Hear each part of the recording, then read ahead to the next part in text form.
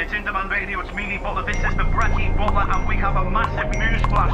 A huge object has been spotted flying over the city of Liverpool.